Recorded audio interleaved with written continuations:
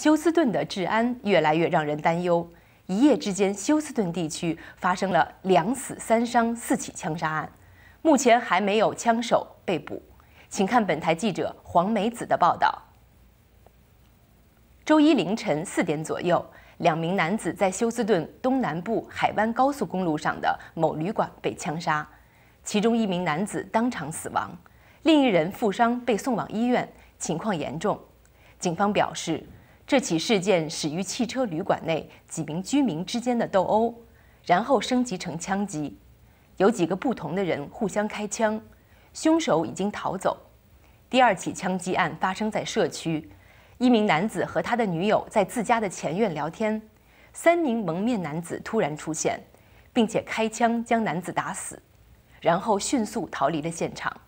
所幸的是，该男子的女友并没有受伤。警方初步认定是仇杀。第三起枪击案发生在休斯顿西北部地区。星期天晚上十一点，一名男子腹部中弹倒在一个停车场。警方接到报警后，紧急将受害人送往了医院，目前还没有脱离生命危险。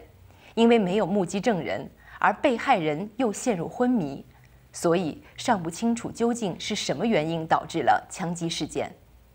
第四起枪击案昨晚十点左右发生在休斯顿东南部，两名男子试图抢劫一名男子，抢劫未遂，于是这两名抢劫犯朝该男子射击，导致他中弹负伤，所幸没有性命之忧。